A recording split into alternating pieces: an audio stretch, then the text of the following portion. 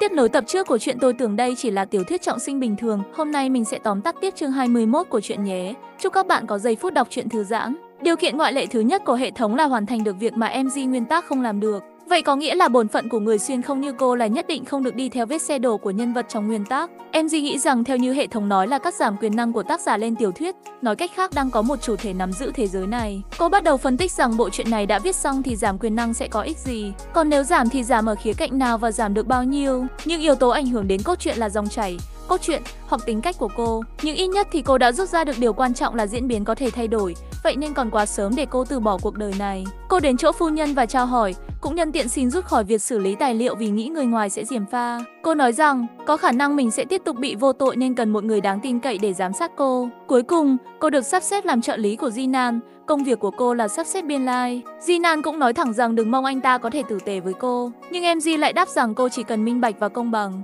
Và cả hai điều đó Jinan đã có đủ. Sau khi hoàn thành công việc cô cũng rời đi. Trong bữa ăn Celit đã hỏi Jinan về biểu hiện của MG.